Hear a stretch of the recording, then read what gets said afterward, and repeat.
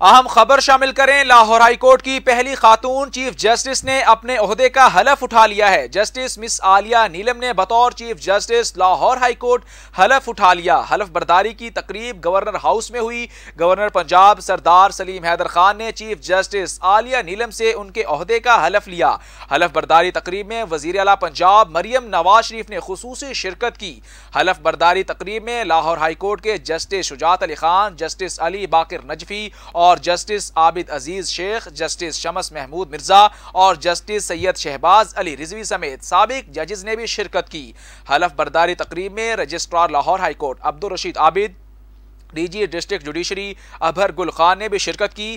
حلف برداری تقریب میں وفاقی وزیر قانون اعظم نظیر تارڑ وفاقی و صوبائی لا افسران نے شرکت کی۔ گورنر اور وزیر اعلیٰ پنجاب نے چیف جسٹس عالیہ نیلم کو عہدے کا حلف اٹھانے پر مبارکباد دی۔ Chief justice Miss Aalia Neelum حلف برداری کے بعد لاہور ہائی کورٹ پہنچ گئیں۔ Chief justice Miss Aalia Neelum کو لاہور ہائی کورٹ پہنچنے پر پولیس کے چاکو چوبن دستے نے گارڈ آف آنر پیش کیا ہے۔ آپ کو ہم خبر سے آگاہ کریں، لاہور ہائی کورٹ کی پہلی خاتون چیف جسٹس نے اپنے عہدے کا حلف اٹھا لیا ہے۔ جسٹس مس عالیہ نیلم نے بطور chief justice Lahore high court حلف اٹھا لیا۔